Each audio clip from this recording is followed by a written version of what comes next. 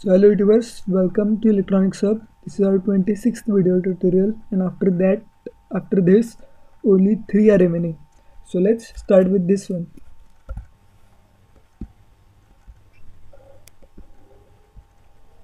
Okay, let's say this is our home and this is the front door.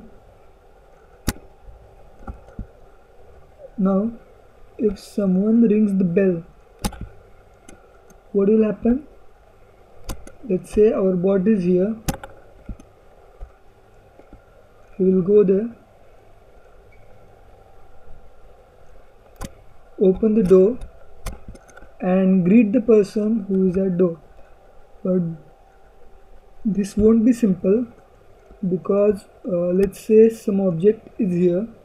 So the bot can't go from here so he has to go find another way and uh, he, had, he has to track the distance he has traveled in which direction so that he will start from here and by any path he should reach at this point. So that's it from this video. If you like the video then hit the subscribe button and if you have any suggestions then put them in comment box. Thank you